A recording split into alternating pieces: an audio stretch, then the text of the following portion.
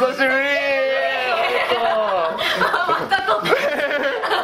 よかった。ね上がって上がってうん鍵閉めた方がいい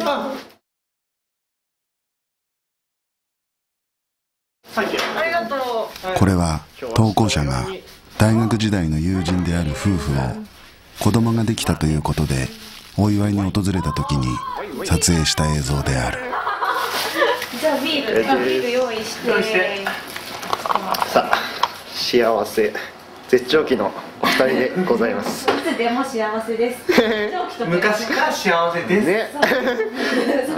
画面に映る幸せそうな夫婦の姿。えい乾杯えいあ手が痛い。えいえいなんでしかしこの映像には不可解な箇所があるというのだが。それでは問題の映像をご覧いただこう。どうよ？妊娠した時の母親になる気持ちっていうの？うわうんちょっとちょっとドキドキする。ドキドキだけ？なんつうかねうんあ分身って感じ？うん。でもまたさ動いたりとかそういう実感がさあんまないじゃん。ああいやせっかくだからワイン持ってきたんだからさあそうだよワイン行ここいうよつを飲みましょあグラス出して。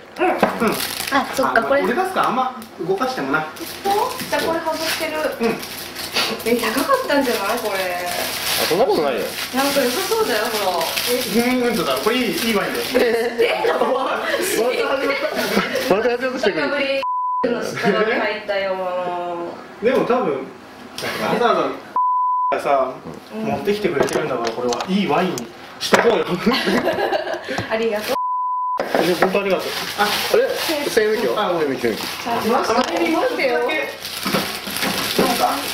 うんちょっとだけで。うん。ちょっとだけ。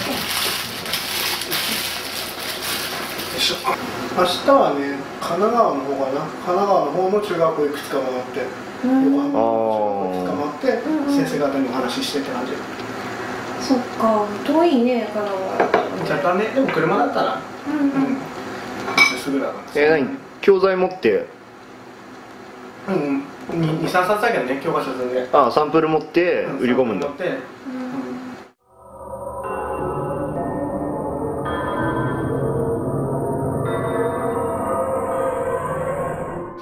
せっかくだからワイン持ってきたんだから。お分かりいただけただろうか。奥の棚の上にある新婚旅行の写真から夫の姿が一瞬消え写真自体が古びたかのように色あせて見える。この写真はやがて別れる二人を予言していたのか。それとも夫から暴力を受け続けていた妻の怨念が写真の夫の姿を消し去った。とでも言うのだろうか